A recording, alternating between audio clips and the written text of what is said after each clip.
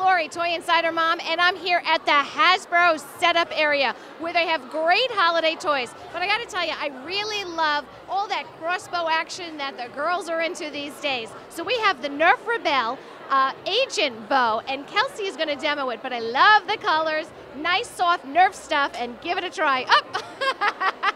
okay, come on. Okay, we load it in. We pull, and of course, it's soft, it's Nerf, you can play it anywhere. That was awesome. Thanks, Kelsey.